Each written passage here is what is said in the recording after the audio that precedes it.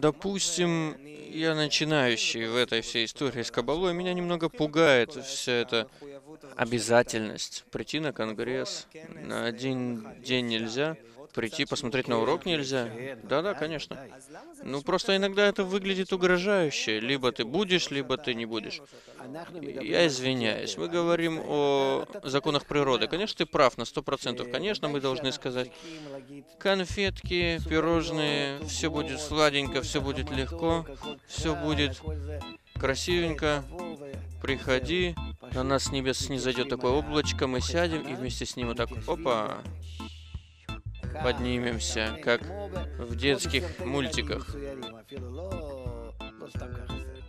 Да, это верно. Но вместе с этим мы должны понять, что мы все-таки говорим о законах природы. Закон природы таков, что мы должны прийти к любви к ближнему.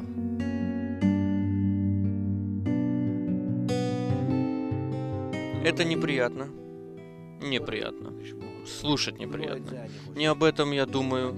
Я хочу прийти к контролю, к власти. То, что человек хочет. Он хочет властвовать над своей жизнью в этом мире, хочет иметь власть над э, миром духовным.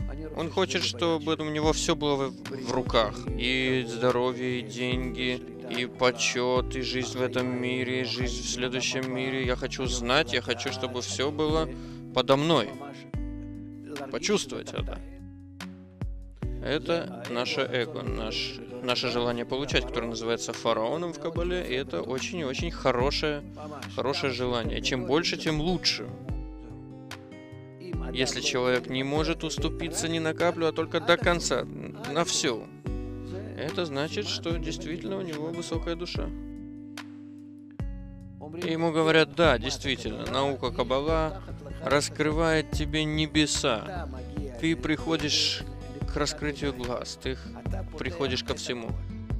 Наука Каббала — это наука получения Творца. Раскрытие Творца, раскрытие духовного мира, ты просто его раскрываешь полностью. Тебе все дается, тебе тут не, не лжется.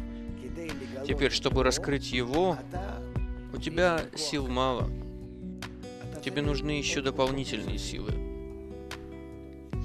Эти дополнительные силы тебе нужно получить от твоего окружения, от группы, от товарищей. Вместе мы будем учиться, вместе будем делать различные действия, и мы к этому придем.